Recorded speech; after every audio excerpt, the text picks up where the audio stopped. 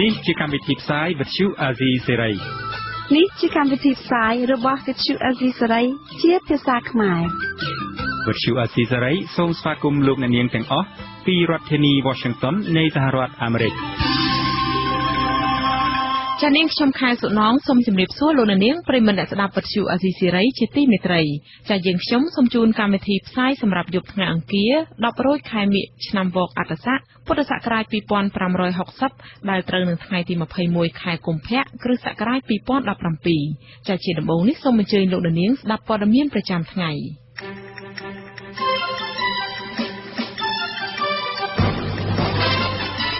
អង្គការ Confrel រកឃើញថាប្រសិទ្ធភាពការងាររដ្ឋសភាធ្លាក់ចុះក្នុងឆ្នាំ2016សមត្ថកិច្ចថៃបានដោះលែងអាជីវករខ្មែរ2នាក់នៅផ្សាររងឃ្លឿវិញពាក់ព័ន្ធនឹងរឿងលក់ផលិតផលខ្លែងម៉ាកយីហោខុសច្បាប់រួមនឹងព័ត៌មានសំខាន់ៗមួយចំនួនទៀត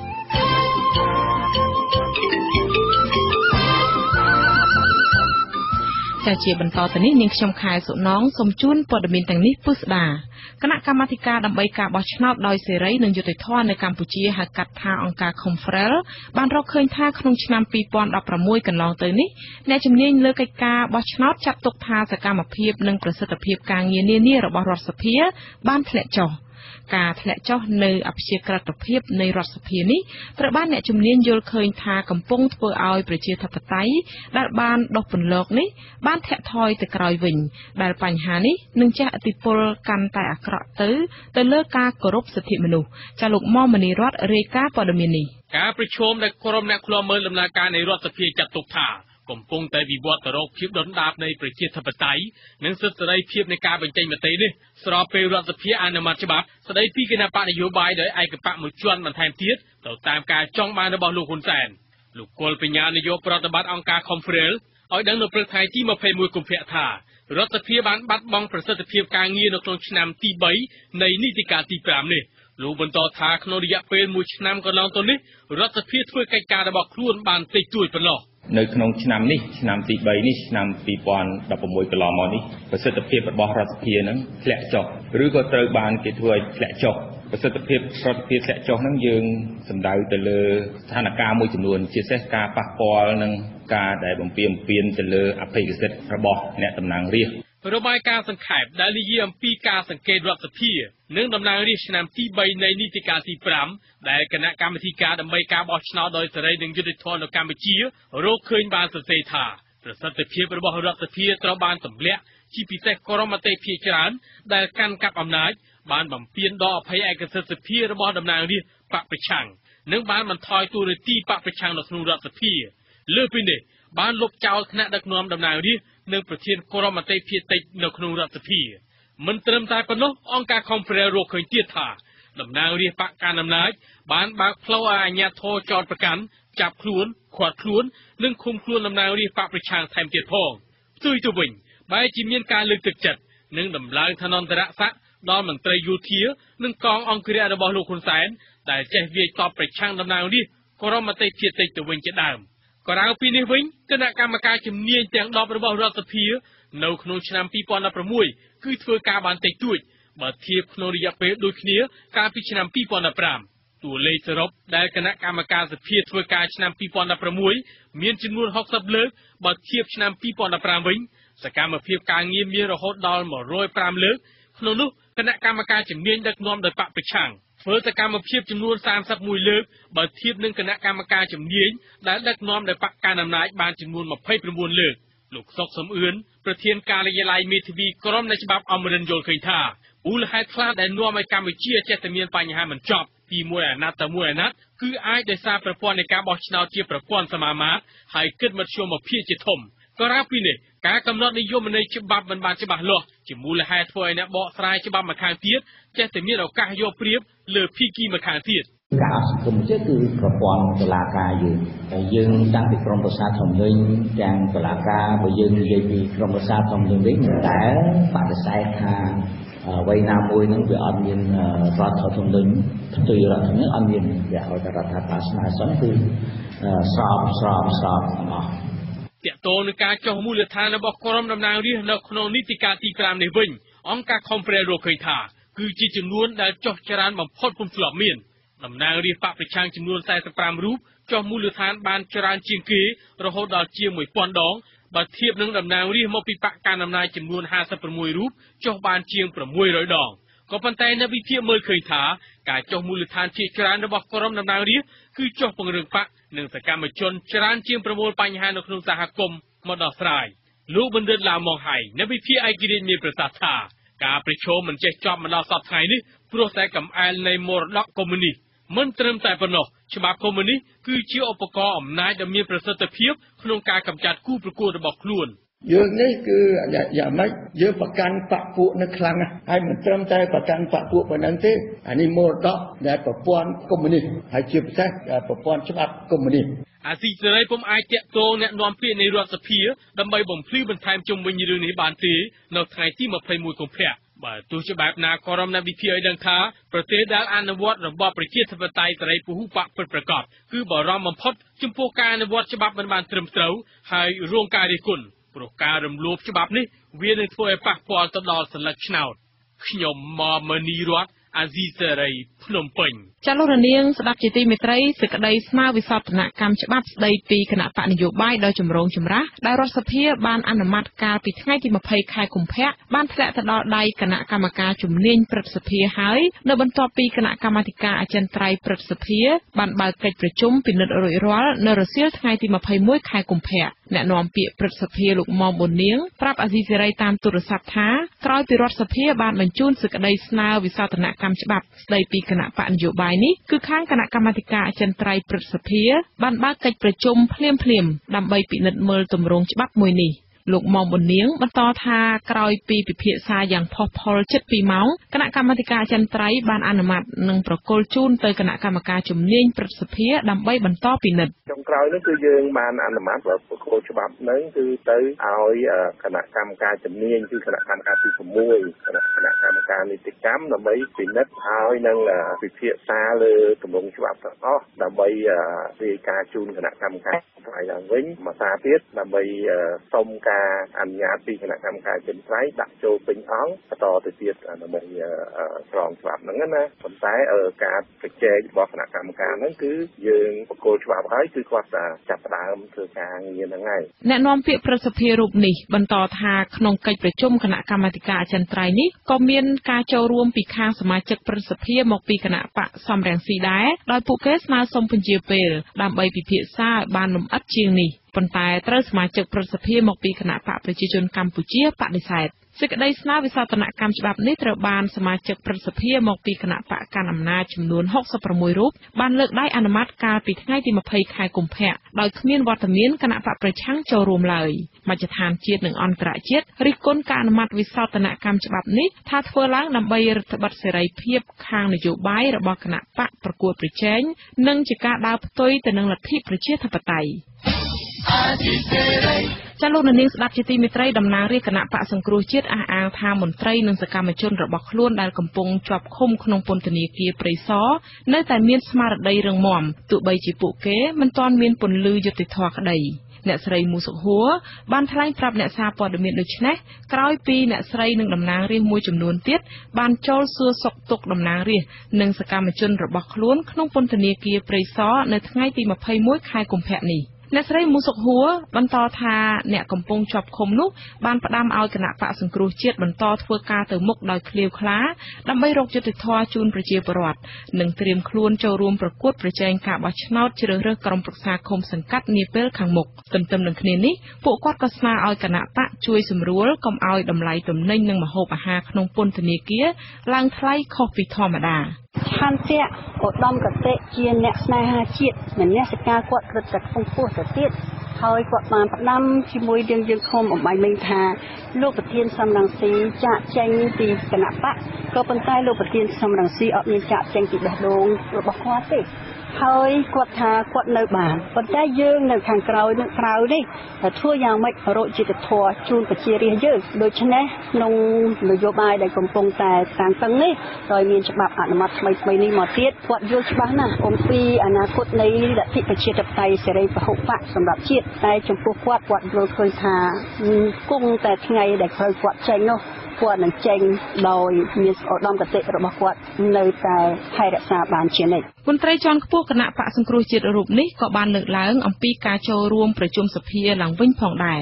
អ្នកស្រីបញ្ជាក់ថាប្រសិនបើរដ្ឋសភាបង្កើតច្បាប់ដើម្បីបម្រើផលប្រយោជន៍ជាតិនិងប្រជាពលរដ្ឋនោះតំណាងរាស្ត្រគណៈបកប្រឆាំងនឹងចូលរួមប្រជុំភ្លាមប៉ុន្តែប្រសិនបើបង្កើតច្បាប់ណាមួយដែលនាំឲ្យខូចប្រព័ន្ធលទ្ធិប្រជាធិបតេយ្យនិងមិនបម្រើផលប្រយោជន៍ជាតិនោះទេគឺតំណាងរាស្ត្រគណៈបកប្រឆាំងងមិនអាចទៅអង្គុយប្រថាប់ត្រាក្នុងរដ្ឋសភាបានឡើយតាមគម្រោងការចូលសួរសុខទុក្ខមន្ត្រីនិងសកម្មជនក្នុងពន្ធនាគារនេះគឺដឹកនាំដោយលោកកឹមសុខាប្រធានស្ដីទីគណៈបកសង្គ្រោះជាតិប៉ុន្តែអ្នកស្រីមូសុខួរថាលោកកឹមសុខាបានខកខានដោយសារលោកមានធុរៈជួបជាមួយមន្ត្រីទូត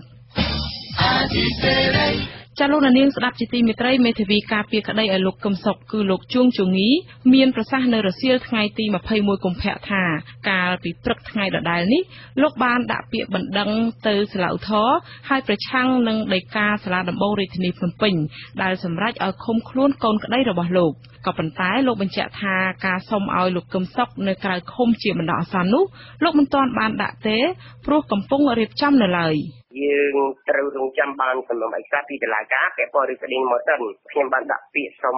ថតសំណុំរឿងថតយកឯកសារពាក់ព័ន្ធឬក្តីនឹងពីតុលាការមកបានទើបយើងសរុបសរសេរក្នុងការសូមឲ្យដល់លេងនៅក្រៅឃុំអញ្ចឹងណា ចឹងអាសូមដល់លេងនេះគាត់គុំអត់ទាន់បានដាក់នៅឡើយទេយើងរងចាំបានសិទ្ធិសំណុំឯកសារមកសិនលោកជួងជំងឺថ្លែងថាលោកមិនអាចកំណត់ពេលវេលាសម្រាប់ការដាក់ពាក្យសុំនៅក្រៅឃុំបានជាក់លាក់នៅឡើយទេទោះជាយ៉ាងនេះក្តីលោកជាមេធាវីពេញសិទ្ធិការពារឲ្យលោកកឹមសុខក្រោយពេលដែលលោកបានដាក់ពាក្យសុំតាមផ្លូវរដ្ឋបាលតាំងខ្លួនជាមេធាវីការពារក្តីកាលពីថ្ងៃទី20ខែកុម្ភៈ កូនក្តីរបស់លោកគឺលោកកឹមសុខកំពុងជាប់ឃុំនៅពន្ធនាគារព្រៃសរគឺបន្ទាប់ពីសាលាដំបងរាជធានីភ្នំពេញបានសម្រេចឃុំខ្លួនលោកកាលពីថ្ងៃទី17ខែកុម្ភៈពីបទញុះញង់និងបរិហាកេរគណៈបកប្រជាជនកម្ពុជាតាមបណ្ដឹងរបស់លោកនាយករដ្ឋមន្ត្រីហ៊ុនសែន ចាលោកនាងស្ដាប់ជាទីមេត្រីសមត្ថកិច្ចថៃសម្រេចដោះលែងអាជីវករខ្មែរ2នាក់ដែលលក់ដូរនៅផ្សាររងឃ្លឿស្រុកអរញ្ញខេត្តស្រះកែវប្រទេសថៃឲ្យមានសេរីភាពឡើងវិញហើយនៅរសៀលថ្ងៃទី21ខែកុម្ភៈនេះអនុប្រធានការិយាល័យទំនាក់ទំនងព្រំដែនកម្ពុជាថៃលោកចិនពិសិដ្ឋមានប្រសាសន៍ថាខាងក្រមកម្មសិទ្ធិបញ្ញារបស់ថៃបានវាយខ្នោះម្ចាស់តូបអាជីវករខ្មែរ2នាក់ក្នុងនោះមានស្ត្រីម្នាក់និងបុរសម្នាក់ប៉ុន្តែលោកពុំបានបញ្ជាក់ឈ្មោះអ្វីនោះទេដោយយកទៅសាកសួរកាលពីវេលាម៉ោង9:45នាទីព្រឹកថ្ងៃទី21កុម្ភៈនេះដោយសង្ស័យថាពួកគេលក់របស់ខ្លែងម៉ាកយីហោខុសច្បាប់បាទ គេយកទៅកន្លែងកាឡៃគេដើម្បីគេស្រាវជ្រាវរមើលតើមិនមានច្បាប់ទម្លាប់ត្រឹមត្រូវតាមច្បាប់ប្រទេសគេអត់ចឹងឃើញថាមានគេក៏ប្រឡែងមកវិញមកវាអត់មានបញ្ហាអីណាទេមិនញើខ្ញុំរហូតទៅដល់កន្លែងអាជីវករដែលលក់ដូរនៅផ្សារលោកគឺដបូខៀវទៀតគឺខ្ញុំបានជូនដំណឹងគាត់ទៅហើយខ្ញុំបានសំណងពោទៅភាគីថៃហើយខ្ញុំបង្កើតជាក្រុមរបស់ខ្ញុំទៅ5នាក់លោកបន្ថែមថាសមត្ថកិច្ចថៃមិនអនុញ្ញាតឲ្យអាជ្ញាធរខ្មែរនៅក្រុងប៉ោយប៉ែតចូលទៅជួបដោះស្រាយជាមួយប្រជាពលរដ្ឋក្នុងទឹកដីថៃនោះទេចំណែកពលរដ្ឋទាំងពីរនាក់ដែលសមត្ថកិច្ចចាប់នោះបានវិលត្រឡប់មកស្រុកខ្មែរវិញហើយលោកថាពុំមានប្រជាពលរដ្ឋតវ៉ាបិទផ្លូវដោយការចុះផ្សាយព័ត៌មានក្នុងស្រុកមួយចំនួននោះឡើយកាលពីឆ្នាំ2016កន្លងទៅសមត្ថកិច្ចខាងកម្មសិទ្ធិបញ្ញារបស់ថៃ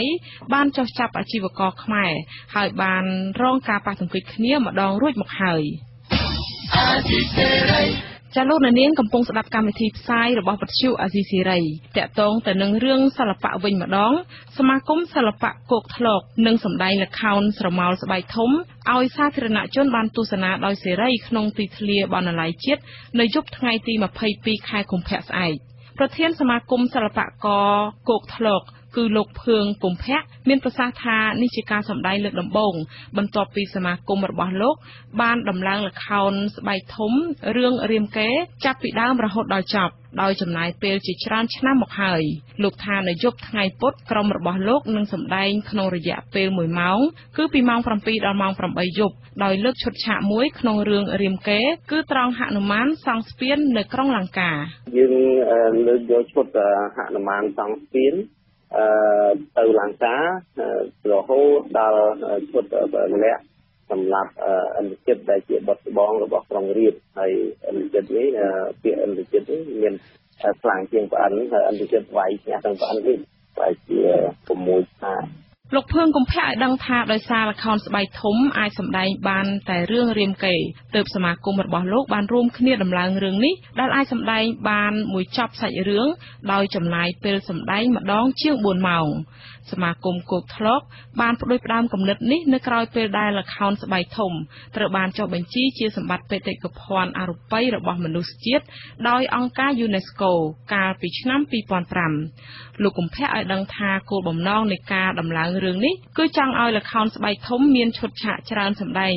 ដែលពីមុនមានចំនួនតិច នឹងដោយអន្លើពុំមែនជាសាច់រឿងទាំងមូលម្យ៉ាងលោករំពឹងថានឹងអាចឲ្យល្ខោនស្បែកធំងើបឡើងវិញមិនបាត់បង់ហើយថែមទាំងអាចផ្ដល់ការងារជាច្រើនដល់សិល្បករផ្នែកល្ខោនស្បែកនេះ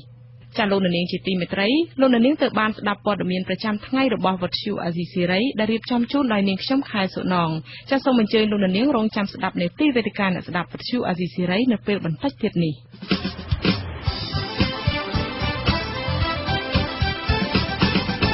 ចាលោកនាងកញ្ញាប្រិយមិត្តអ្នកស្ដាប់ជាទីមេត្រីនៅយប់ថ្ងៃអង្គារនេះនេតិវេទិកាអ្នកស្ដាប់វិទ្យុអាស៊ីសេរីមានកិច្ចពិភាក្សាជុំវិញប្រធានបទស្ដីអំពីការលើកកម្ពស់ការអាននៅកម្ពុជាចាលោកនាងអាចចូលរួមផ្ដល់យោបល់និងសួរវាគ្មិនកិត្តិយសរបស់នេតិយើងដោយផ្ទាល់តាមរយៈលេខទូរស័ព្ទ012 811 911លេខ011 611 711និងលេខ023 211 804ចាលោកនាងក៏អាចផ្ញើជាសំណួរមកកាន់កម្មវិធីយើងទាំងមុននៅក្នុងពេលកំពុងផ្សាយតាមរយៈអ៊ីមែល ask.rfa@rfa.org ចាក្រៅពីស្ដាប់សំឡេងតាមវិទ្យុលោកនាងក៏អាចទស្សនាជាវីដេអូតាមអ៊ីនធឺណិតដែរដោយលោកនាងចូលទៅកាន់គេហទំព័រ www.rfa.org/ ខ្មែរ រួចចុចនៅលើពាក្យថាផ្សាយផ្ទាល់វេទិកាអ្នកស្ដាប់នៅខាងស្ដាំនៃទំព័រដើម្បីទស្សនាវីដេអូផ្សាយផ្ទាល់នៃកម្មវិធីវេទិកាអ្នកស្ដាប់វិទ្យុអេស៊ីស៊ីរ៉ីដែលចាប់ពីពេលនេះរហូតដល់ម៉ោង8កន្លះយប់ម៉ោងនៅកម្ពុជាចាកម្មវិធីនេះសម្របសម្រួលដោយលោកសានសែល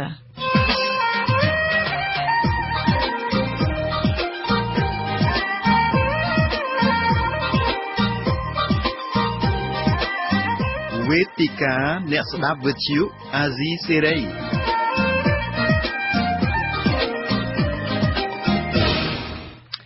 ជំរាបសួរ ប្រិយមិត្តអ្នកស្ដាប់និងទូទស្សនិកជនជាទីមេត្រីស្វាគមន៍មកកាន់កម្មវិធីវេទិកាអ្នកស្ដាប់វិទ្យុអាស៊ីសេរីកម្មវិធីយើងនៅថ្ងៃនេះនឹងជជែកអំពីការលើកកម្ពស់ការអាននៅកម្ពុជាហើយនៅក្នុងបន្ទប់ផ្សាយយើងមានវាគ្មិនចំនួន2រូបទី1គឺអ្នកនាងម៉ៅកូឡាបគឺជានាយិកាបណ្ណាល័យនៃសាកលវិទ្យាល័យបញ្ញាសាស្ត្រកម្ពុជាហើយអ្នកនាងក៏ជាអនុប្រធានសមាគមបណ្ណាល័យនៅកម្ពុជាអ្នកស្រីម៉ៅកូឡាបគឺជានិស្សិតមួយរូបដែលបានបញ្ចប់ការសិក្សាបរិញ្ញាបត្រជាន់ខ្ពស់ផ្នែកវិទ្យាសាស្ត្របណ្ណាល័យនិងព័ត៌មានពីសហរដ្ឋអាមេរិកកាលពីឆ្នាំ2010ហើយវាគ្មិននៅក្នុងបន្ទប់ផ្សាយរបស់យើងម្នាក់ទៀតគឺលោកកាន់កោដែលជានាយកប្រចាំប្រទេសនៃអង្គការ Room to Read អង្គការ Room to Read នេះគឺសហការជាមួយសហគមន៍មូលដ្ឋានអង្គការដៃគូនឹងរដ្ឋាភិបាលដើម្បីអភិវឌ្ឍជំនាញអាននិងទម្លាប់នៃការអានក្នុងចំណោមកុមារបឋមកម្ពុជាហើយនឹងគ្រប់គ្រងឲ្យក្មេងស្រីអាចបញ្ចប់ការសិក្សានៅថ្នាក់វិទ្យាល័យដោយមានបំណិនជីវិតដើម្បីជោគជ័យនៅក្នុងសាលាហើយនិងសង្គមជំរាបសួរមីក្មិនទាំងពីរបាទបាទ កម្មវិធីយើងជជែកផ្ដោតជាសំខាន់ទៅលើការអានហើយការអាននៅទីនេះគឺយើងមិនសំដៅទៅលើការអានសៀវភៅទេគឺការអានគ្រប់ទម្រង់ទាំងការអាននៅលើ e-book ផងដែរហើយជាកិច្ចចាប់ផ្ដើមនៃការពិភាក្សាយើងនៅល្ងាចនេះដំបូងយើងចង់ឲ្យវាគ្មិនជួយបង្ហាញថាតើការអានមានសារៈសំខាន់យ៉ាងម៉េចខ្លះចំពោះបុគ្គលដែលអានហើយនិងអ្នកនៅជុំវិញដំបូងសូមអញ្ជើញកញ្ញាឲ្យអ្នកនាងម៉ៅកូឡាបាទ ចាចាអញ្ចឹងអឺចំពោះទស្សនៈខ្ញុំផ្ទាល់ខ្ញុំគិតថាការអានមានសារៈសំខាន់អឺច្រើនចំពោះអឺបុគ្គលហើយក៏ចំពោះសង្គមជាតិផុតយើងផងដែរអញ្ចឹងការអានគឺអាចជួយឲ្យបុគ្គលម្នាក់ម្នាក់ហ្នឹងគឺបង្កើននៅចំណេះដឹងបានទូលំទូលាយហើយការអានក៏ជួយឲ្យសិស្សនិស្សិតហ្នឹងគាត់អាចពង្រឹងសមត្ថភាពក្នុងការសរសេរហើយនិងការវិភាគវែកញែក អញ្ចឹងដូច្នេះតាមការស្រាវជ្រាវគេឃើញថាបើសិនជាសិស្សនិស្សិតហ្នឹងគាត់ចូលចិត្តការអានគាត់តែងតែជាសិស្សនិស្សិតដែលមានភាពជោគជោគជ័យក្នុងការសិក្សាហើយបើសិនជាគាត់មានភាពជោគជ័យในការសិក្សាហើយពូកែអានទៀតនោះជាងតែងតែឃើញថាគាត់តែងតែប្រកប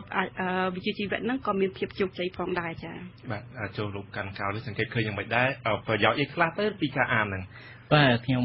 សូមបន្ថែមតែទៅពីនឹងទៅទៀតថាអត្ថប្រយោជន៍នៃការអានហ្នឹងគឺសំខាន់ណាស់ព្រោះបើយើងមើលនៅក្នុងជីវភាពរស់នៅប្រចាំថ្ងៃរបស់យើងហ្នឹងគឺថាមួយចំណែកធំនៃការរស់នៅរបស់យើងគឺការប្រស័យតាក់ទងអញ្ចឹងការប្រស័យតាក់ទងហ្នឹងគឺវាបានមកពីណាការប្រស័យតាក់ទងមួយជីវិតរបស់យើងគឺជារៀងរាល់ថ្ងៃហ្នឹងគឺយើងចំណាយពេលគឺតែការប្រស័យតាក់ទងប្រស័យតាក់ទងប្រស័យយើងធ្វើអីក៏ត្រូវការប្រស័យតាក់ទងដែរអញ្ចឹងដើម្បីការប្រស័យតាក់ទងរបស់យើងមានប្រសិទ្ធភាពបាន យើងត្រូវការអានយើងត្រូវការអានអញ្ចឹងការអានហ្នឹងវាជួយអីវាជួយឲ្យយើងអាចគិតឲ្យបានប្រសើរជាងមុនជាពិសេសនៅក្នុងសម័យបច្ចេកវិទ្យានេះគឺយើងឃើញថាការអានរឹតតែមានសារៈសំខាន់ទៅព្រោះព័ត៌មានគឺចេញរៀងរាល់វិនាទីរៀងរាល់វិនាទីអញ្ចឹងការអាន គឺមិនត្រឹមតែឲ្យយើងប្រស័យតាក់ទងបានប្រសើរទេការអានវាជួយឲ្យយើងអីវាជួយឲ្យយើងយល់ដឹងបានឆាប់រហ័សពីអ្វីដែលកើតមានឡើងនៅជុំវិញខ្លួន ការអានវាជួយយើងឯងមានលទ្ធភាពធ្វើការវិភាគកាលណាយើងមានទម្លាប់នៃការអានគឺយើងចាប់ផ្ដើមធ្វើការវិភាគពេលណាដែលយើងធ្វើការវិភាគគឺយើងអាចឆ្លើយតបយើងអាចប្រស័យតាក់ទងនឹងមានលក្ខណៈមួយដែលមានមូលដ្ឋានជាក់លាក់ណាមានការគិតគូរបានត្រឹមត្រូវហើយការអានទៀតសោតនេះវាធ្វើឲ្យយើង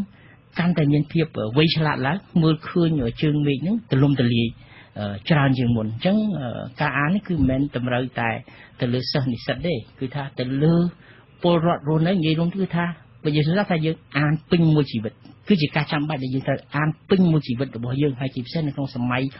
កាលដែលមានព័ត៌មានឆាប់រហ័សនេះពួកយើងចេញទៅកន្លែងណាក៏យើងឃើញដែរយើងមានព័ត៌មានយើងមានផ្ទាំងប៉ាណូយើងមានការផ្សព្វផ្សាយយើងមានព័ត៌មានផ្សេងផ្សេងដែរទាមទារយើងជាប្រចាំត្រូវស្វែងយល់បាទបើយើងនិយាយពីផ្នែកចិត្តវិទ្យាវិញថាតើនៅពេលដែលបុគ្គលម្នាក់គាត់យកសភៅឬក៏យកឯកសារមកអានហ្នឹងវាផ្ដល់ប្រយោជន៍គេដល់ផ្នែកផ្នែកផ្លូវចិត្តរបស់ពួកគាត់ អឺសំណួរនេះវាតកតងទៅនឹងប្រធានបទនៃការអាន វាអាស្រ័យទៅលើប្រធានបទនៃការអានអឺប៉ុន្តែទោះបីជាយ៉ាងម៉េចក៏ដោយបើយើងឧទាហរណ៍មួយថាប្រសិនបើអ្នកនឹងគាត់មិនសប្បាយចិត្តការអានសភៅក៏ជាការមួយអាចជួយឲ្យអ្នកនឹងអាចកាត់បន្ថយការលំបាករបស់គាត់ដែរហើយប្រសិនបើអ្នកនឹងមានបញ្ហាចិត្តមួយដែលមិនអាចដោះស្រាយបានអានសភៅជួយឲ្យគាត់ស្វែងរកដំណោះស្រាយបាន ចឹងការអានសភៅហ្នឹងគឺមិនត្រឹមតែអានដើម្បីស្វែងយល់ដើម្បីស្វែងរកដំណោះស្រាយដើម្បីបង្កើនចំណេះដឹងទេការអានក៏ជាការកំសាន្តមួយ ជាការជួយសម្រាលទុក្ខព្រួយនៅក្នុងផ្លូវចិត្តដែរជាការសម្រាប់បាទជាការសម្រាប់ជននាងម៉ៅកូឡាវិញដែលធ្វើជាបណ្ណារៈផងថាតើសង្កេតឃើញយ៉ាងម៉េចដែរកូនសិស្សដែលគាត់អានឬក៏បុគ្គលដែលគាត់អានសភៅហ្នឹងប្លែកពីអ្នកដែលគាត់អត់បានអាននឹងយ៉ាងម៉េចដែរ ចាអញ្ចឹងអឺចំពោះការអានខ្ញុំសុំបកទៅខាងមុនបន្តិចសំណួរមុនតិចណាអញ្ចឹងធម្មតាការអានយើងត្រូវមានគោលបំណងចាដោយលោកពូគាត់មានប្រសាសន៍អញ្ចឹងអ្នកខ្លះអឺគាត់អានដើម្បីការអបសុខហើយអ្នកខ្លះទៀតគាត់អាន គឺដើម្បីគាត់ចង់ដឹងចង់ឮហេតុការណ៍ ទាំងក្នុងស្រុកហើយនិងក្រៅក្រៅស្រុករីឯសិស្សនិស្សិតវិញគឺគាត់អានគឺគាត់ដើម្បីបំពេញនៅកាតព្វកិច្ចសិក្សារបស់គាត់អញ្ចឹងបើយើងនិយាយខ្លីទៅថាតើយើងអានសบายសบายចិត្តឬក៏យ៉ាងម៉េចនោះគឺវាអាស្រ័យទៅលើគោលបំណងរបស់យើងហើយប្រសិនជាយើងជាអ្នកឋានមានទម្លាប់អានពីមុនមកហើយចំពោះខ្ញុំផ្ទាល់ឬក៏ខ្ញុំអង្កេតមើលឃើញណាគឺការអានគឺជាសេចក្តីសុខ មួយយ៉ាងដែរពីព្រោះឧទាហរណ៍ថាខ្ញុំចង់ដឹងព័ត៌មានហេតុការណ៍ជុំវិញស្រុកជុំវិញពិភពលោកពេលខ្ញុំអានទៅខ្ញុំចាប់ដើមយល់គឺធ្វើឲ្យខ្ញុំនឹងមានទំនុកចិត្តថាអ្វីបានអ្វីបានកើតឡើងហើយអ្វីនឹងកើតឡើងអញ្ចឹងមួយទៀតសិស្សនិស្សិតដល់ពេលគាត់អានទៅគាត់យល់បានច្បាស់គាត់មានថាលទ្ធភាពក្នុងការសរសេរឬបំពេញបែបបទនៃការងារសិក្សារបស់គាត់បានចា៎បាទអញ្ចឹងមានន័យថាអានដើម្បីផ្លាស់ប្ដូរ អានដើម្បីបង្កើនចំណេះហើយអានដើម្បីបានការងារល្អហើយអាននឹងដើម្បីបង្កើតធនធានមនុស្សសម្រាប់ការអភិវឌ្ឍប្រទេសអានដើម្បីកំសាន្តដែរអានដើម្បីកំសាន្តជានឹងតកតងផ្លូវចិត្តចាចាចាអឺក៏ប៉ុន្តែអឺ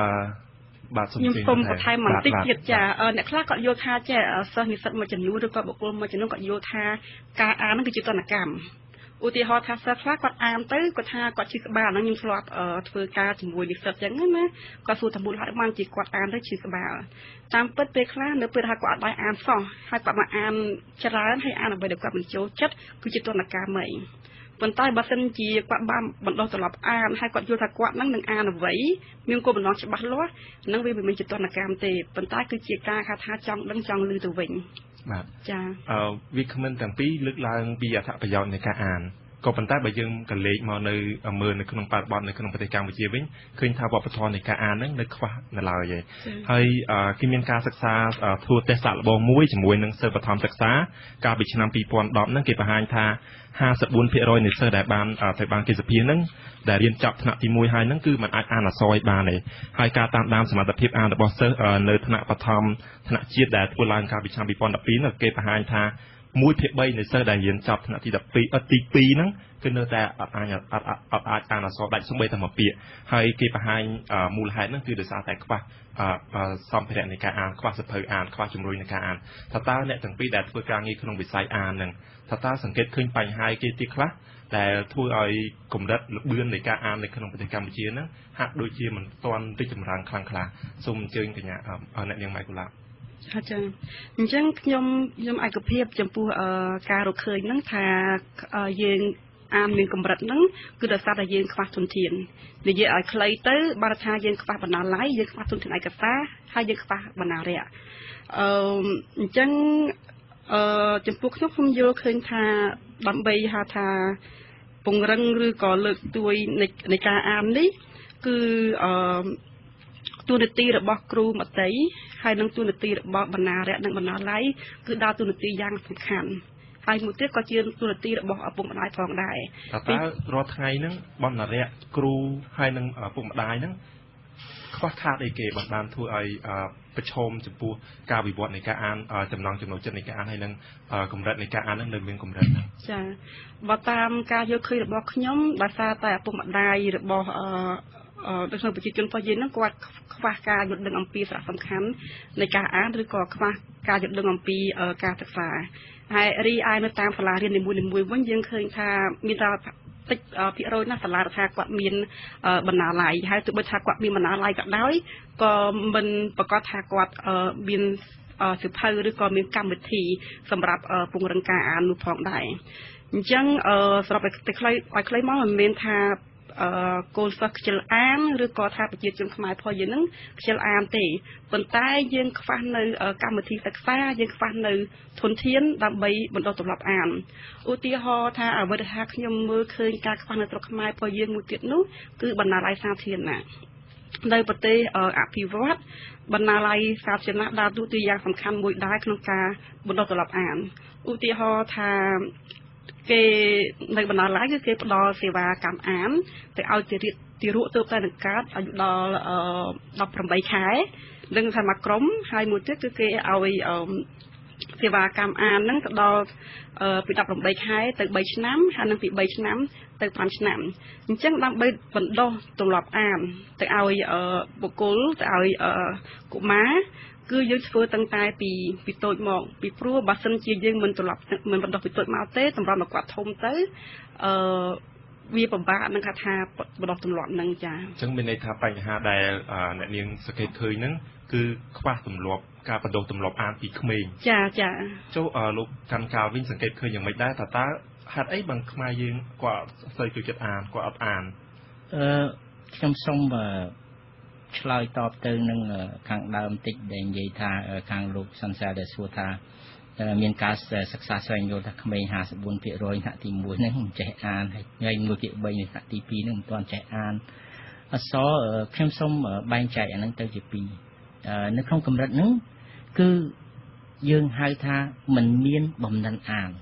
ទេសាស្ត្រទី1សាស្ត្រទី2មិនមានបំណិនអានមិនទាន់ដល់ទម្លាប់ទេបាទកន្លែងហ្នឹងគឺ រៀនអាន មួយទៀតអានដើម្បីរៀនអញ្ចឹងក្នុងកម្រិតហ្នឹងគឺកម្រិតដែលគេហៅថាត្រូវមានបំណិន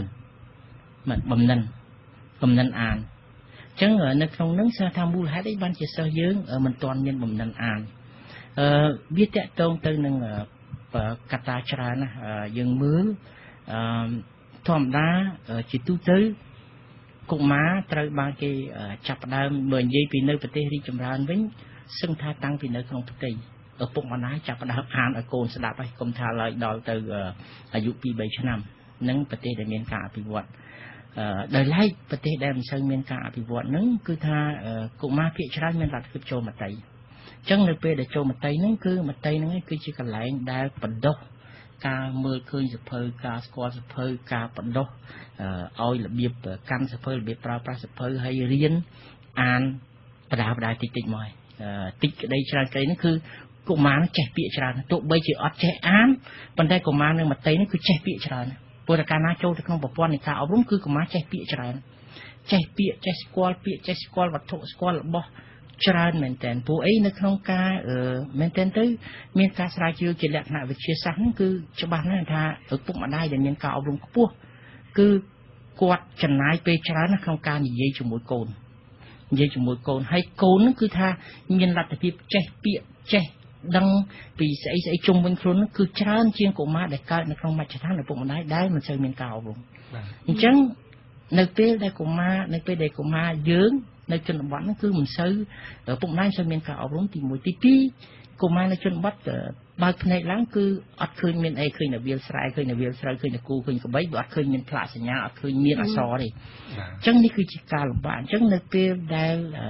កុមារទាំងអស់ហ្នឹងចូលសាលាដោយមិនបានឆ្លងកាត់មត្តេយ្យហ្នឹងគឺគាត់មានការលំបាកគាត់មានការលំបាកក្នុងការចាប់យកបំណិនអានហ្នឹងក្នុងរយៈពេលមួយឆ្នាំសិក្សាហ្នឹងគាត់មានការលំបាកហើយទីពីរទៀតយើងត្រូវដឹងថាភាសាខ្មែរយើង មានស្រៈនិងភ្ជញ្ជនៈច្រើនដែលទាមទារឲ្យក្មេងនឹងត្រូវការរៀនប្រកបផ្សំស្រៈភ្ជញ្ជនៈនឹងជាមួយគ្នានឹងដើម្បីឲ្យបានទៅជាសូបង្កើតទៅសូសូឲ្យបានបង្កើតទៅពាក្យអញ្ចឹងយើងមានលំនាំអស់នឹងច្រើនហើយប្រសិនបើកុមារនឹងគាត់មិនបានឆ្លងកាត់មតីហើយចំទៅលើពុកម្ដាយដែលមិនសូវបានជួយដូចថានិយាយជាមួយកូនឲ្យបានច្រើនកូននឹងវាមិនសូវចេះពាក្យច្រើនអញ្ចឹងនៅពេលដែលវាចូលថ្នាក់ទី1ទី2នេះវាមានការលំបាកក្នុងការចាប់យកទាំងអស់ហ្នឹងអញ្ចឹង អឺបើសារមូលហេតុហ្នឹងបានជាខាងរួមទរីយើងព្យាយាមសហការជាមួយនឹងក្រសួងអប់រំយុវជនកីឡាហ្នឹងថាយើងត្រូវកែសម្រួលខ្លះទៅលើកម្មវិធីបង្រៀនថ្នាក់ទី1ទី2ហ្នឹងណាដោយធ្វើម៉េចឲ្យកុមារហ្វឹកហាត់អានឲ្យបានច្រើនហ្វឹកហាត់អានឲ្យបានច្រើនជាជាងការព្យាយាមទន្ទិញចាំទន្ទិញចាំអញ្ចឹងទើបអាចគាត់ឆ្លងផុតហ្នឹងទៅទៅថ្នាក់ទី2ទី3ទី4ហ្នឹងគាត់ចាប់ផ្ដើមមានបំណិនអានហើយ ថ្មីថ្មីនេះយើងបានធ្វើកិច្ចការនឹងច្រើនជាមួយក្រសួងអប់រំយុវជននិងកីឡាហើយជួយធ្វើម៉េចឲ្យសិស្សថ្នាក់ទីដែលបញ្ចប់ថ្នាក់ទី1ទី2ហ្នឹងអាចអានបានកាន់តែប្រសើរឡើងហើយមិនត្រឹមតែប៉ុណ្្នឹងទេឥឡូវនេះក្រសួងអប់រំក្តីគាត់បានដាក់និយាមនិយាមមួយគឺថាសិស្សដែលរៀនចប់ថ្នាក់ទី3គឺមានសមត្ថភាពអានឲ្យបានក្នុងល្បឿនប្រហែលជា45ទៅ60ទៅ65ពាក្យក្នុង1នាទី ក្នុងមន្ទីរអញ្ចឹងបើសិនណាជាសិស្សអាចអានបានល្បឿនប៉ុណ្ណឹងមានន័យថាគាត់អាចអានបានបាទបាទអាចអានបាននេះគឺជាបញ្ហាមួយតកតងនឹងរឿងអំណាចនឹងហើយបើតកតងទៅនឹងបំណិន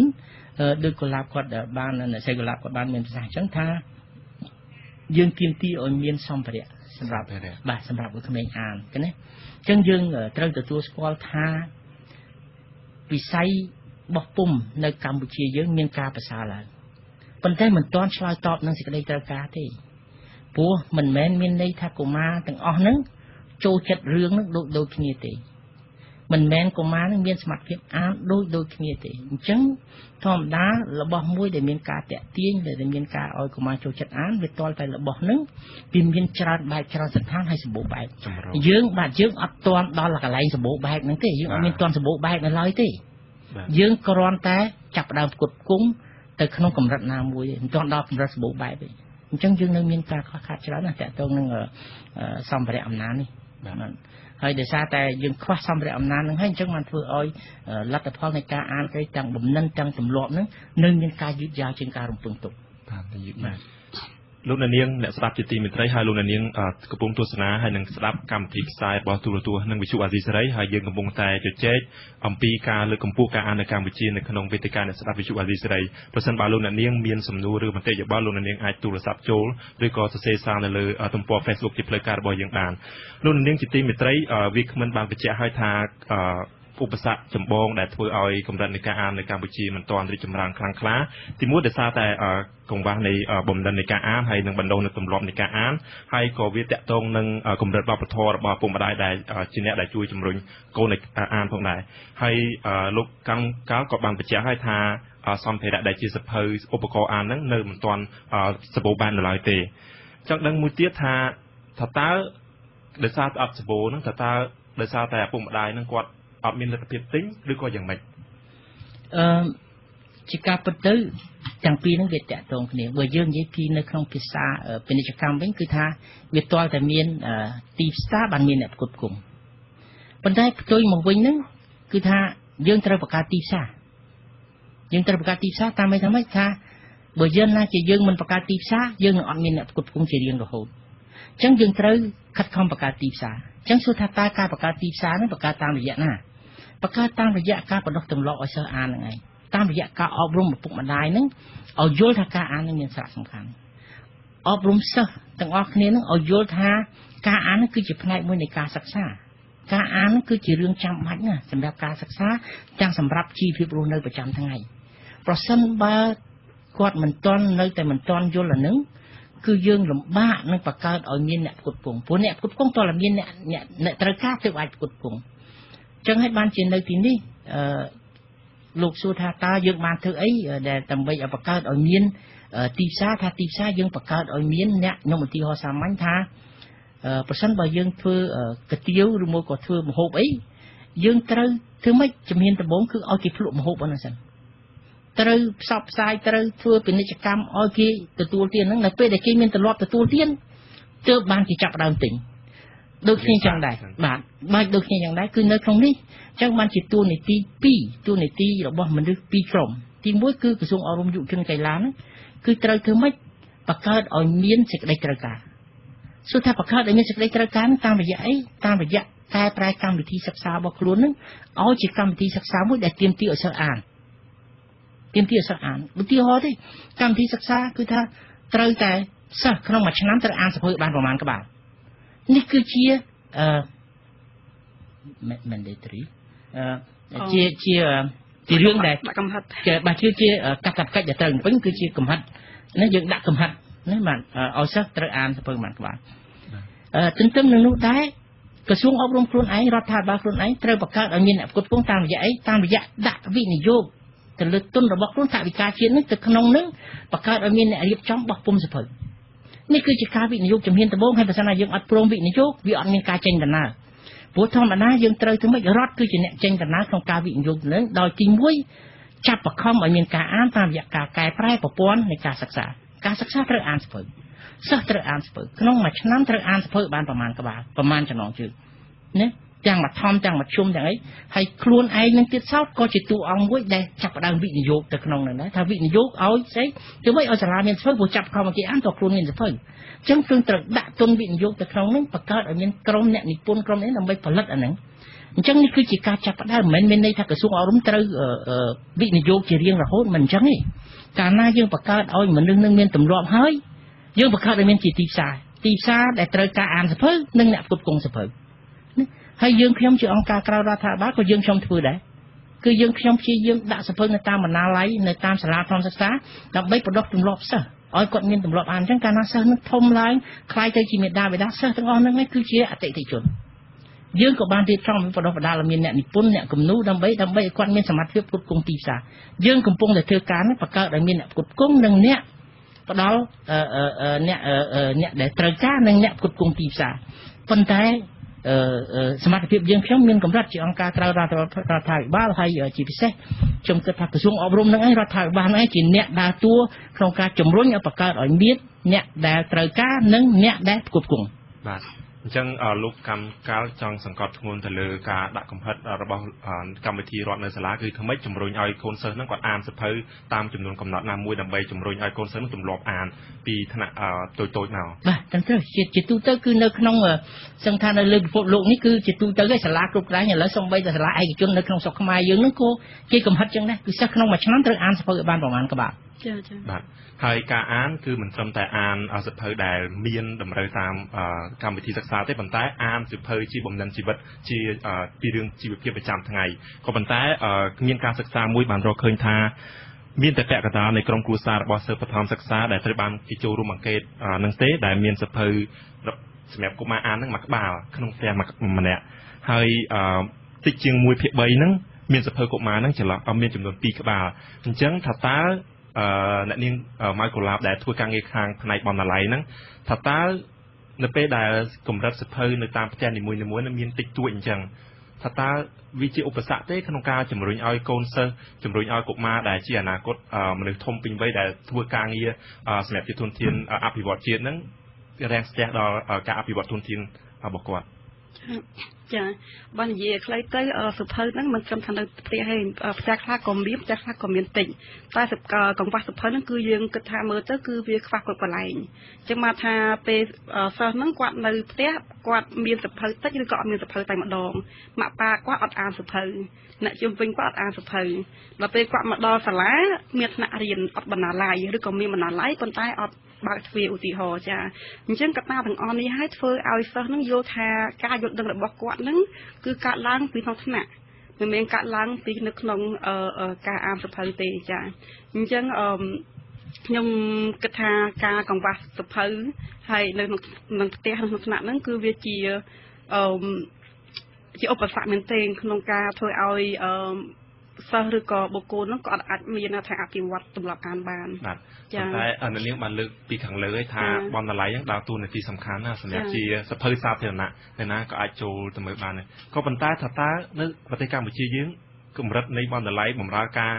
ជូនប្រជាពលរដ្ឋជូនកូនសិស្សហ្នឹងត្រឹមត្រូវតាមអ្វីដែលអ្នកស្រីអ្នកអ្នកនាងធ្លាប់សិក្សាហ្នឹងហើយនៅយ៉ាងម៉េចដែរកម្រិត បម្រើការរបស់បណ្ណាល័យហ្នឹងចា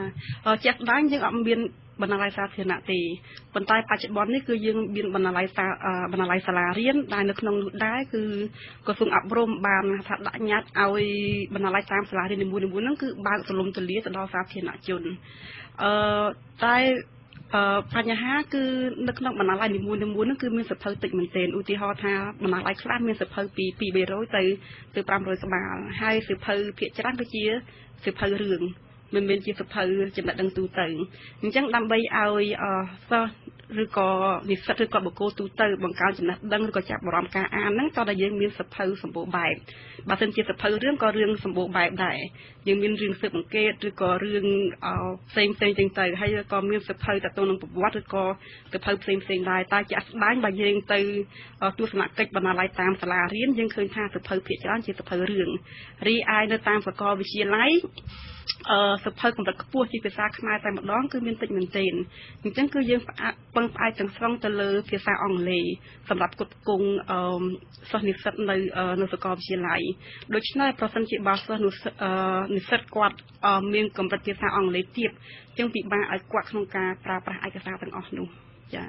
បាទអញ្ចឹងអឺទូនាទីបណ្ណាល័យគឺសំខាន់ហើយអឺអ្វីដែលអ្នកស្រីអ្នកនាងកុលាបចង់បន្ថែមហ្នឹងគឺ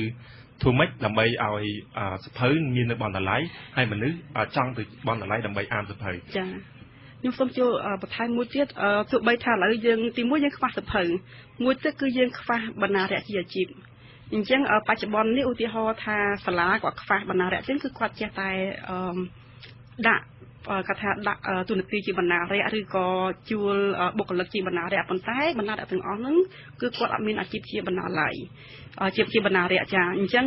ការអនុវត្តនៅស្រុកគេមានមានហ្នឹងគឺឧទាហរណ៍ថាដើម្បីយើងជាបណ្ណារៈបានតើតែយើងមានអនុបណ្ឌិតខាង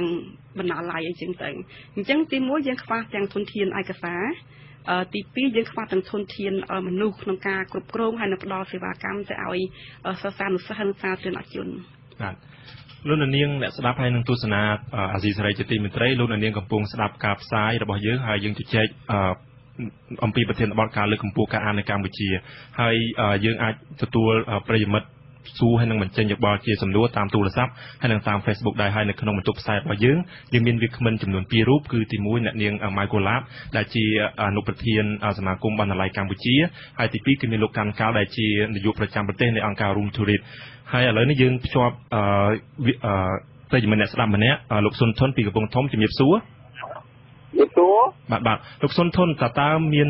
មតិយោបល់និងសំណួរគេខ្លះដែរសូមអញ្ជើញបាទទៀង ស្ដាប់តាំងពីដើមទីមកហើយវាមិនបានបកស្រាយចាំនៅចំណុចដែលខ្ញុំចង់បានហ្នឹងគឺថាអឺពលរដ្ឋខ្មែរយើងនឹងជាទូទៅហ្នឹងខ្វះទម្លាប់ក្នុងការអានជាពិសេសដែលអឺសាសនាសិស្សទីបឋមទីដតីរហូតដល់អនុវិទ្យាល័យជាល័យហ្នឹងយ៉ាងហើយខ្ញុំចង់សួរលោកវិពិនថាតើយើងមានមធ្យោបាយយ៉ាងម៉េចជំរុញឲ្យពលរដ្ឋខ្មែរយើងនឹងចូលចិត្តស្រឡាញ់ទៅក្នុងការអានហ្នឹងណាឲ្យបាន គ្រប់គ្រប់គ្នាពីព្រោះយើងឃើញថាពលរដ្ឋខ្មែរយើងដូចស្វេសហេសទាំងអស់គ្នាទាំងអឺអ្នកឆ្វេងទាំងអ្នកចាស់ហ្នឹងអញ្ចឹងយើងសហការមួយក្រសួងអប់រំតើមានយន្តការអីដើម្បីឲ្យពលរដ្ឋយើងចូលចិត្តក្នុងការអានទៅពបល់ទៅគេមើលណាសូម្បីតែជីឡានតាក់ស៊ីក៏គេមើលដែរអញ្ចឹងណាតែយើងនេះអត់ទេអត់អត់អត់ទៅចាប់អារម្មណ៍ក្នុងការអានហ្នឹងទេបានព័ត៌មានតាម Facebook ទីពីនេះពីនោះទីជួយអញ្ចឹងកំដរចឹងចូលមកទី អង្គការសង្គមស៊ីវិលនឹងជួយជំរុញជំរុញឲ្យមានបណ្ណាល័យគ្រប់សាលាហើយជំរុញឲ្យមានការសិក្សាអានទៅនឹងបានគ្រប់គ្នាអញ្ចឹងណាទៅបីតែជាកបតាក៏គាត់មានពេលដែរគាត់អង្គុយលក់នឹងរឹងតែគាត់មានពេលអានដែរតាហ្នឹងហើយអញ្ចឹងហើយសូមមានយោបល់ប៉ុណ្ណឹងឯងព្រោះឃើញវាមិនគាត់បកស្រាយអស់ហើយដែលចំនួនដែលខ្ញុំចង់សួរសូមអរគុណបាទអរគុណច្រើនសុំធនបាទជំរាបលាបាទវាគ្មិនទាំងពីរគាត់ចង់សួរថាតើ យើងបាននិយាយពីបញ្ហាថាតើយើងខ្វះបំណិននៃការអានយើងខ្វះទម្លាប់នៃការអានយើងខ្វះធនធានសភៅសម្រាប់អានយើងខ្វះជំរុញការជំរុញពីគ្រូពីខាងប្រព័ន្ធអប់រំដើម្បីឲ្យកូនសិស្សនឹងអានក៏ប៉ុន្តែថាតើយើងមានវិធីសាស្ត្រគេសម្រាប់ដោះស្រាយបញ្ហាដែលយើងកំពុងតែប្រឈមហ្នឹងដំបូងចង់ឲ្យកញ្ញាអ្នកនាងម៉ៃកូឡាបអញ្ជើញបាទចាអញ្ចឹងយើងអាចថា អឺមានមធ្យោបាយមួយចំនួនទីមួយយើងតាមបុគ្គលនិងគ្រួសារអញ្ចឹងក្នុងក្នុងករណីនេះប្រសិនជាឪពុកម្ដាយគាត់ចង់ឲ្យកូនរបស់គាត់នឹងមានទម្លាប់អានមានភាពជោគជ័យក្នុងការសិក្សាគាត់គួរតែធ្វើជាគំរូទៅដល់ទៅដល់កូនកូនឧទាហរណ៍ថាបើសិនជាគាត់មានកូនតូចតូចអីគាត់ចាប់ផ្ដើមអានសៀវភៅនឹងទៅឲ្យកូនហើយឬគាត់ដឹកផ្ទះខ្លួនឯងផ្ទាល់ហ្នឹងគឺគាត់អាននៅខ្លួនឯងអញ្ចឹងធម្មតាកុមារតូចតូចគឺគាត់ថា មើលបំណាំឪពុកម្ដាយបើសិនជាឪពុកម្ដាយគាត់អានទេបើថាគាត់ក៏ដឹកឃើញអានអត់ដឹកឃើញអានទេប៉ុន្តែបើសិនជាឪពុកម្ដាយគាត់អានហើយអញ្ចឹងទៅគាត់មើលឃើញគាត់អាចមើលបំណាំឪពុកម្ដាយបានគាត់ចង់អានដែរទី1អានឲ្យកូនមើលហើយទី2យើងឪពុកម្ដាយហ្នឹងគឺអានអានឲ្យកូនហ្នឹងគឺឪពុកម្ដាយអាចជួយថាបង្កើតបណ្ដុះទម្លាប់អានទៅដល់កុមារតូចតូចរីឯក្រសួងវិញក្រសួងអប់រំវិញខ្ញុំគិតថា ដោយលោកពូមានប្រសាសន៍អញ្ចឹងកម្មវិធីសិក្សាហ្នឹងគួរតែថាថារំលេចនៅការអានឲ្យបានច្រើនបច្ចុប្បន្ននេះយើងមានការអានក្នុងកម្មវិធីដែរតែការអានហ្នឹងគឺគឺតិចមែនទែនយើងអានជាលក្ខណៈជាអត្ថបទខ្លីៗនៅក្នុងសភៅពុំគេថាអំណាចរបស់ក្រសួងចោះប៉ុន្តែយើងអត់មានអានសភៅជាទាំងក្បាលមួយក្បាលទេចាអញ្ចឹងដើម្បីឲ្យថាសិស្សនឹងគាត់បើហៅថាចាប់អារម្មណ៍អានហើយ ពង្រឹងជំនាញនៃការអានហ្នឹងគឺគាត់ត្រូវតែមានឱកាសក្នុងការប្រើប្រាស់ធនធានឯកសារទាំងអស់នោះអញ្ចឹងបច្ចុប្បន្ននេះគឺក្រសួងអត់ទាន់មានថា កម្មវិធីថាធ្វើឲ្យការអានហ្នឹងថាមានភាពទូលំទូលាយជាងមុនណាទី1ហើយទី2 អឺមួយបញ្ចូលកម្មវិធីស្រាវជ្រាវទៅក្នុងកម្មវិធីសិក្សាស្រាវជ្រាវយ៉ាងម៉េចដែរចាស្រាវជ្រាវនៅបឋមសិក្សាចាចាអញ្ចឹងបច្ចុប្បន្ននេះបើយើងមើលទៅយើងឃើញថាកម្មវិធីសិក្សាស្រាវជ្រាវហ្នឹងគឺយើងធ្វើឡើងនៅក្នុងពេលយើងជួបបរិញ្ញាបត្រនៅស្រុកខ្មែររបស់យើងតែបើសិនជាយើងក៏លេចមើលទៅប្រទេសថាគេដើរជាលឿនហ្នឹងកម្មវិធីសិក្សាស្រាវជ្រាវគឺបណ្ដុះតាំងពីថ្នាក់ទី 3ទី4ឡើងមកនៅបឋមតែម្ដងអញ្ចឹងកាលណាកម្មវិធីសិក្សាមានដាក់គេថាលំហាត់សិក្សាស្រាវជ្រាវអញ្ចឹងពេលនេះគឺកូនសិស្សគាត់ចាប់ផ្ដើមហាត់បង្កើតនៅគេថាប្រធានបទមួយដើម្បីទៅរកព័ត៌មានមកសរសេរនៅប្រធានបទរបស់គាត់អញ្ចឹងដើម្បីគាត់សរសេរនឹងបានដើម្បីរកព័ត៌មានបានគឺគាត់ត្រូវត្រូវអានជាឧទាហរណ៍គាត់អានអត្ថបទ4 10មកមកសរសេរមកទំព័រអីចឹងទៅឧទាហរណ៍អញ្ចឹងការបង្កើតកម្មវិធីសិក្សាស្រាវជ្រាវនេះគឺ ជាកត្តាមួយជំរុញឲ្យសិស្សហ្នឹងគឺគាត់អានច្រើន អញ្ចឹងទី1យើងប្រកាសថាតម្រូវឲ្យអានឧទាហរណ៍ថាមួយខែត្រូវអានទៅភៅប្រហែលក្បាលអញ្ចឹងទៅនឹងកម្មវិធី1កម្មវិធីទី2គឺយើងគេហៅថាបង្កើតការសិក្សាស្រាវជ្រាវតាំងពីបឋមមកដើម្បីឲ្យកូនសិស្សហ្នឹងទៅស្វែងរកឯកសារចា៎បាទអឺតកតងនឹងរឿងនឹងដែរយើងមានប្រិយមិត្តនៅលើ Facebook ម្នាក់គាត់ឈ្មោះគុនធីម៉ាហើយគាត់បានសរសេរមកកាន់គេហទំព័ររបស់គេហទំព័រលើ Facebook របស់យើងថាគាត់បញ្ចេញមកយោបល់គាត់ថាគាត់រងថ្ងៃហ្នឹងគាត់សង្កេតឃើញថាយុវជនខ្មែរហ្នឹងអត់សូវយកចិត្តអានសភៅទេហើយបើទោះបីជាយុវជនទាំងអស់ហ្នឹងយល់ដឹងពីអត្ថប្រយោជន៍នៃការអានក៏ដោយអញ្ចឹងគាត់សួរថាតើមានវិធីសាស្ត្រយ៉ាងម៉េចដែរដោយលោកសុនធនពីខាងកំពង់ធំឯដែរអញ្ចឹងសូមអញ្ជើញលោកកាន់កៅបាទបាទអរគុណដែរចំពោះសំណួររបស់លោកសុនធនតកតងទៅនឹងរឿងតើមានជួបាយអីនឹងបីជំរុញឲ្យសិស្សឲ្យប្រជាពលរដ្ឋយើងសង្គមខ្មែរយើងមានការយកចិត្តទុកដាក់ការអាននេះឡើងវិញអឺ ត្រឹមត្រូវហើយ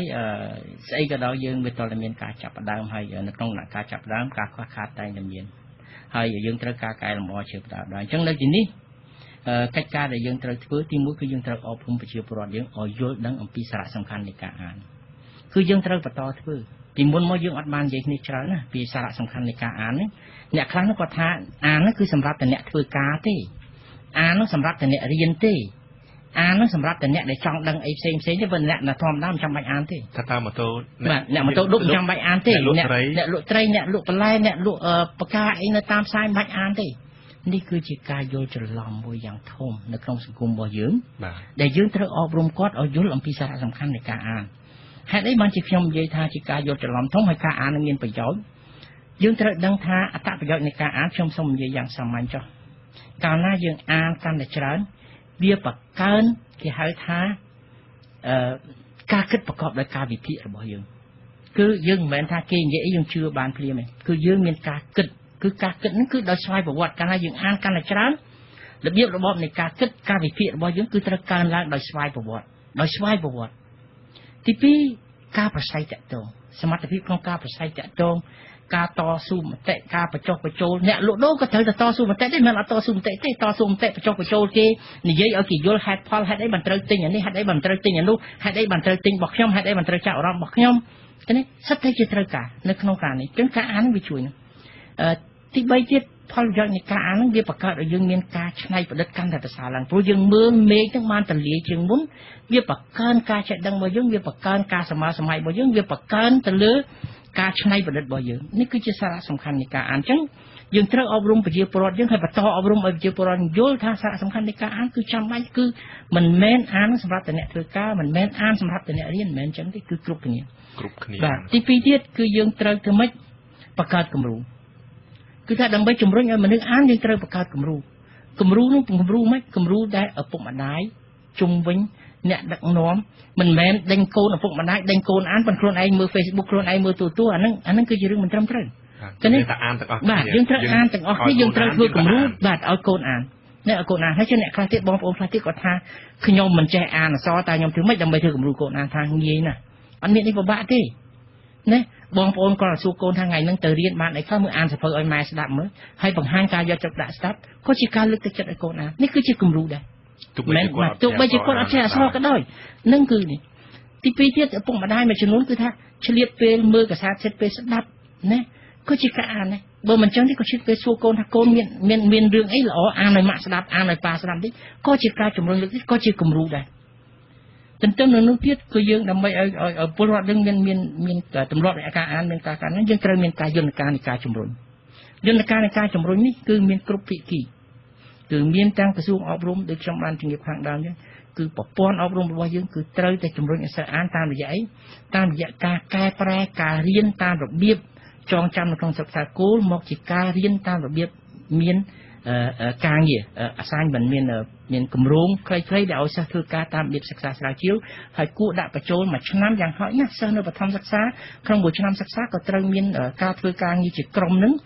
ឲ្យបាន3ឬមួយក៏4ប្រធានបទដែរ បាទអាហ្នឹងមិនមែនគ្រាន់តែនិយាយទេក្រសួងអប់រំនិយាយប៉ុន្តែអត់ទាន់អត់ទាន់មានធ្វើជាក់ស្ដែងនៅនៅនៅច្រើនណាយើងអត់មាននេះទេហើយខ្ញុំតែងតែគិតអ្នកខ្លះគាត់ថាចុះដាក់ប្រធានបទឲ្យសិស្សស្រាវជ្រាវមិនបើសាលាខ្លះគ្មានសភៅគ្មានបណ្ណាល័យគ្មានទេស្រាវជ្រាវណាខ្ញុំថាมันខ្វះទេ យើងត្រូវចាប់ផ្ដើមចេញដំណើរជាមួយស្អីដែលយើងមានខ្ញុំឧទាហរណ៍ជាក់ស្ដែងមកចង់ឲ្យសិស្សធ្វើ assignment មួយស្រួលណាស់អ្នកឲ្យសិស្សស្រាវជ្រាវវិធានបត់ស្អីគេ ការធ្វើកញ្ជើនៅភូមិខ្ញុំបាទការដាំដំណាំនៅភូមិខ្ញុំបាទការកកើតនៃភូមិខ្ញុំសិតតែជាប្រធានបទដែលក្មេងអាចស្រាវជ្រាវបានអរគុណលោកកម្មកាលហើយយើងមានចំណុចមួយទៀតចង់ពិភាក្សាដែរអឺខ្ញុំអាចសុំបន្ថែមបន្តិចបានទេឬយុវជនអញ្ចឹងចាចា អឺអញ្ចឹងបើសិនជាយើងនិយាយពីវ័យយុវជនមកថាយើងនិយាយពីវ័យគាត់ចាប់វិទ្យាល័យអញ្ចឹងខ្ញុំសូមឯកភាពទៅលើលោកពូខាន់ការនិយាយអំពីស្ថាប័នឧត្តមសិក្សាអញ្ចឹងស្ថាប័នឧត្តមសិក្សាហ្នឹងគឺមានទូនាទីសំខាន់មែនទែនក្នុងការជួយយុវជនហ្នឹងឲ្យមានថាមកមកត្រឡប់អានវិញតាមរយៈការធ្វើការធ្វើ homework អញ្ចឹងឧទាហរណ៍ថានៅសាកលវិទ្យាល័យបញ្ញាសាស្ត្រយើងឃើញថានិស្សិតដែលថាគាត់ប្រើប្រាស់បណ្ណាល័យហ្នឹងក្នុងមួយថ្ងៃគឺមានប្រហែលជា500នាក់ជាជាមធ្យមអញ្ចឹងគឺ ហេតុអីបានជាសិស្សបញ្ញាសាស្ត្រគាត់ចូលរួមក្នុងមួយថ្ងៃប្រហែលជា500ដោយសារកត្តាដោយលោកពូខាគាត់មានប្រសាសន៍មិនអញ្ចឹងគឺគ្រូគាត់ដាក់ថាលំហាត់សិក្សាស្រាវជ្រាវអញ្ចឹងកាលណាលំហាត់សិក្សាស្រាវជ្រាវគឺយើងបង្ខំឲ្យសិស្សនិស្សិតហ្នឹងគឺត្រូវតែបើបណ្ណាល័យយ៉ាកាលណាគាត់ត្រូវការសរសេរគាត់ត្រូវការអានសិនអញ្ចឹងទាំងពីរហ្នឹងគាត់ថា reinforce ទៅវិញទៅមកអញ្ចឹងណាចា៎ចំណុចមួយទៀតដែលខ្ញុំចង់ជជែកហ្នឹង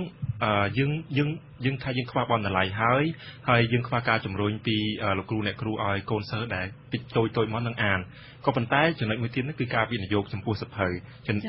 ចំណាយលុយលើសភៅពីព្រោះការសិក្សាស្រាវជ្រាវរបស់អង្គការ Save the Children ហើយនិង SIPA ហ្នឹងគេបានរកឃើញថាម្ដាយឪពុកហ្នឹងហ៊ានចំណាយសម្រាប់ទិញសភៅឲ្យកូនហ្នឹងបើសិនជាសភៅនោះថ្លៃក្រោម4000រៀលឬក៏1ដុល្លារហ្នឹងហើយកម្រិតនេះពួកគាត់ទិញសភៅចន្លោះពី2ទៅ5ក្បាលក្នុងមួយឆ្នាំសម្រាប់កូនកូនថាតើធ្វើយ៉ាងម៉េចដើម្បីឲ្យមេដាបេដាប្រជាពលរដ្ឋខ្មែរហ្នឹងអាច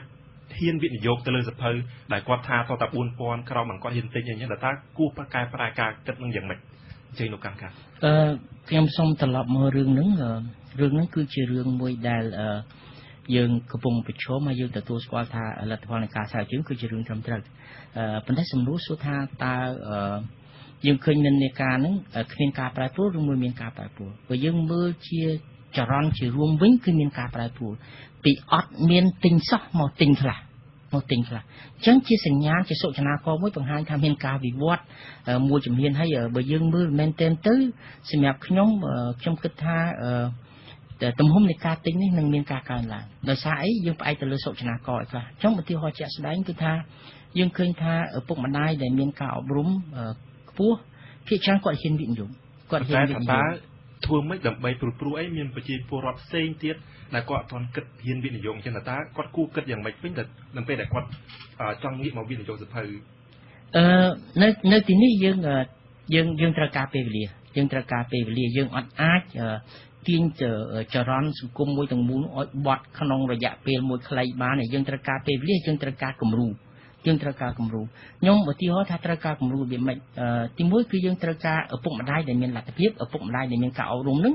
ចេញដំណើរជាគំរូវិញព្រោះយើងត្រូវចេះកុំភ្លេចថាពលរដ្ឋខ្មែរមួយចំនួនគឺរៀនធ្វើត្រាប់តាម រៀនធ្វើត្រាប់តាមអញ្ចឹងបើសិនណាគេគេធ្វើល្អគាត់ធ្វើតាមដែរអញ្ចឹងយើងត្រូវការឲ្យមានរបត់មួយនៃក្បាលដំបូងនោះគឺអ្នកដែលមានការអប់រំអ្នកដែលមានលទ្ធភាពនោះវិនិយោគទៅក្នុងនោះហើយយើងឃើញថាពួកគាត់ចាប់ដើមវិនិយោគទៅក្នុងហ្នឹងហើយទន្ទឹមនឹងនោះដែររដ្ឋាភិបាលយើងដូចខ្ញុំនិយាយដដែលដែរហ្នឹងថាត្រូវវិនិយោគទៅក្នុងការផលិតបោះពុំសពិលហ្នឹងដើម្បីជាគេហៅថា ជាឈ្នួនជាឈ្នួនខ្ញុំមិនមែនថារដ្ឋាភិបាលនឹងនឹងបន្តវិនិយោគនឹងរហូតដល់គ្មានទីបញ្ចប់មិនមែនអញ្ចឹងទេប៉ុន្តែវាត្រូវមានអ្នកណាជាអ្នកចាប់ផ្ដើមដើម្បីជំរុញឲ្យយន្តយន្តក្បាលម៉ាស៊ីននឹងវាដើរទៅសិនហើយនៅពេលដែលវាឆេះហើយវាមានប្រេងឥន្ធនៈវាមានកម្លាំងខ្លួនវាដើរដល់ខ្លួនឯងប៉ុន្តែនៅក្នុងដំណាក់កាលទៅដំបូងវាត្រូវតែមានអ្នកណាមួយវិនិយោគហើយខ្ញុំជឿថាគ្មានអ្នកណាមួយដែលមានទួនាទីសមជាងរដ្ឋាភិបាលសមជាងក្រសួងអប់រំនឹងទេបាទអរគុណច្រើនលោកកម្មចៅហើយ ប្រិយមិត្តអ្នកស្ដាប់អាស៊ីសេរីជាទីមេត្រីការជជែកពិភាក្សារបស់វេទិកាអ្នកស្ដាប់វិទ្យុអាស៊ីសេរីជុំវិញប្រធានបទការលើកកម្ពស់ការអាននៅកម្ពុជានេះចប់តែត្រឹមនេះហើយអរគុណដល់វិក្កាមចំនួន2រូបទី1គឺអ្នកនាងម៉ៅកូឡាបដែលជាអនុប្រធានសមាគមបណ្ណាល័យកម្ពុជាហើយទី2គឺលោកកាន់កាលដែលជាប្រធានប្រចាំប្រទេសនាយកប្រចាំប្រទេសនៃអង្គការរុំធូរិតបាទនៅពេលនេះយើងខ្ញុំទាំង3នាក់នៅក្នុងបន្ទប់ផ្សាយគ្រប់ព្រមទាំងក្រុមការងារនៃអាស៊ីសេរីសូមអរគុណនិងសូមជម្រាបលារាត្រីសួស្តី